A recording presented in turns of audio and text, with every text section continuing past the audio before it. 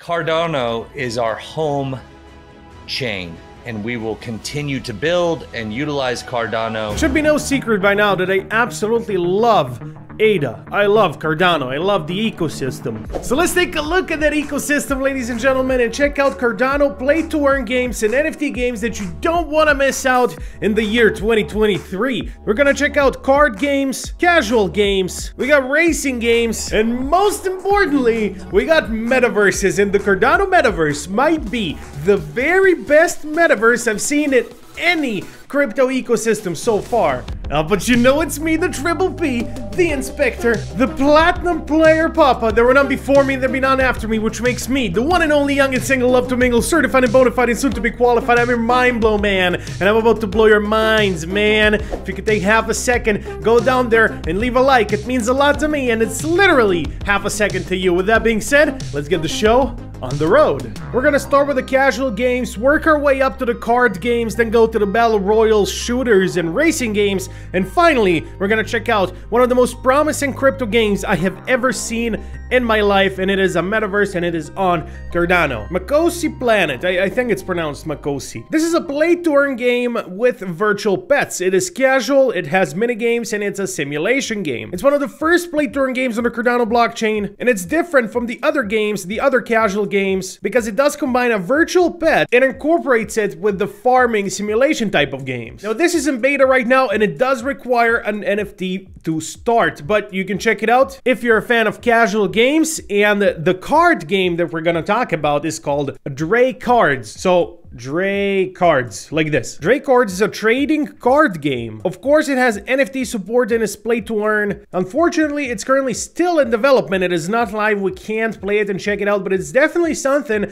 to keep our eyes on. Anyone who loves card games, this might be for you. I'm a huge card game fan. It will require an NFT in order to earn, though. That's a little bit different than, for example, Gods Unchained, but it's still in development, so that might be something they're gonna change down the road. Dre Cards, definitely something to keep your eyes eyes on. And third game on the list, as we're slowly working our way up to the metaverse, we have a racing game. The game is called Speed Throne. So this is a PC game with realistic looking graphics. They're using the Unreal Engine 5 and Unreal Engine 5's features such as Nanite, Lumen, and Chaos vehicle physics to deliver the best gaming experience possible for their players. Now this is still in the beta stages and it is a PvP action racing game available on the Cardano blockchain. There's definitely work to be done with this game game, but it is something very good in my opinion. Racing games, we have not seen nearly enough racing games on any crypto ecosystem. So Cardano being one of the first ones to really get something out there is very bullish for Cardano. Now it's no secret that I'm a huge fan of ADA, but ADA currently price-wise is struggling very much.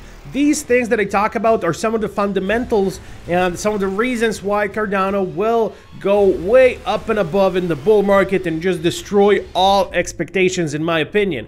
But as far as ADA goes currently, we're looking at this resistance here at 0.4 or 4 cents. Then after that, we got the 8 cents resistance and the upper part of the Fibonacci, the $1.3 resistance. So that's as far as Cardano is concerned. This is where we're at. And with that being said, game number four is called Battle Hero. It's a hero that you do battle with. It's a battle royal. So this is a battle royal slash brawler slash shooter. It is in the beta stages, completely free to play with NFT support and play to earn support as well. It'll be available for everything, Android, iOS, PC, Mac, you name it, it's got it. Not the most visually striking game, you can definitely see it's in the beta stages, but not to take anything away from them, they are building something good here. There will be a lot of ways you can enjoy this game, tournaments, leagues, events, and I'm really brushing through all of these just to get to the metaverse section because because we have a lot to talk about there. So on number five, we have Machiavellic. No Machiavellianism or just, just that word is associated with a very bad thing. It's associated with ruthlessness, with political domination. But Machiavellic sounds like a Machiavellist that's a mechanic, kind of. okay, let's explore the game. So this will be a sandbox MMO on Cardano. You're gonna be able to immerse yourself on an alien planet in this open world game that has NFT support that is play to earn. You'll be able to equip a wide array of armor. There's a lot of classes to try out. These are very early stages for some of these games, especially Machiavellic. It's a very early stage game. It's only in the pre-sale phase right now. And let me just take a second to say that I'm not sponsored by any of these projects. I would love to get sponsored by Cornucopia, which is the game we're gonna check out next, the metaverse I've been talking about. So let's do this. What the hell is Cornucopia. Why am I so bullish on it? And how will that change gaming forever? First of all, the graphics, absolutely insane. What they're building here, absolutely insane. So you see, you might see we're on a plane right now, on, on a grass plane, moving around, jumping around, running around, but that's just one part of the game. The game is structured in a way where there's different domes for you to check out. Uh, every dome has its own theme. This particular theme looks like this. It's all plainy and grassy and nice and you have mountains and everything but there's also dangerous domes. There's also way more dangerous domes. We have the wild west dome. They're gonna have a samurai dome. They're gonna have a bunch of different things as well as they're gonna allow players to create their own things in the game their own mini games so similar to what the sandbox does but in freaking unreal engine 5 much better graphics much better everything. One of the things you'll be able to do in cornucopia is create your own little nft item that didn't exist before in the world, then you can have a blueprint of that item, and then you can sell that blueprint for other people to mint their own version of their NFT, of the NFT that you made, so you can then sell that blueprint that way. That's a very, very unique way of earning with NFTs. I love the creativity. I freaking love the creativity when it comes to things like that. So the island, as they call it, is where all the domes are placed in. They'll be available for PC, mobile phones, game consoles, and even smart TVs. I have no idea how they're gonna do smart TVs with Unreal Engine 5,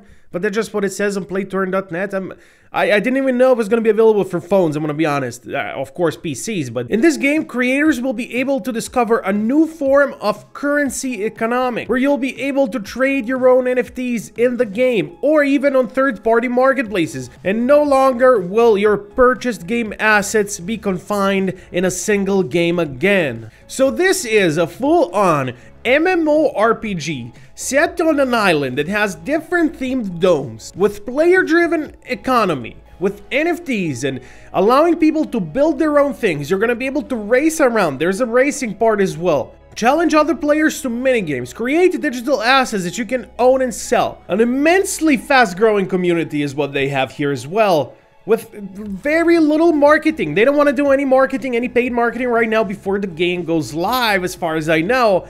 So therefore, hit your boy up, Cornucopia. They their coin is live. It's called COPI, and it'll be the absolute foundation to this game. Now again, this is a whole full-blown metaverse. They can call it MMORPG, they can call it simulation, they can do what they want. If you have this, this many things to do, it's a metaverse. So I've said this in a video once before. If you have an MMORPG that is running on Web3 technology, so NFTs and blockchain, you have a metaverse. And a very noble mission they have here called Corny Cares or COPI Cares, where they have already donated 1,700,000 ADA in order to plant 130,380 trees, 23 almost 24,000 tons of CO2 to be sequestered. I don't know what that word means, to be honest. They've done this by introducing three NFT mints named NFT to Tree that were used to test new innovations in the NFT marketplace. The ADA made from those mints, as well as 100% of the secondary market royalties, are donated to Veritree. Now, Veritree is this organization that is um, partnered with Cornucopia and that is doing the COPI care. So they have verified planting in this part of Canada, Williams Lake, Canada, and also Catherine, Senegal. I hope I pronounced that right. Catherine or Kaffrine, Senegal. All in all, amazing things, amazing project. I would I would love so much to collaborate with them in the future. But even if not, I will keep covering this game as I think it will make waves. I think it'll make waves. Well, with all that being said, ladies and gentlemen, I hope you enjoyed today's video, and I'll see you all next time. Inspector out.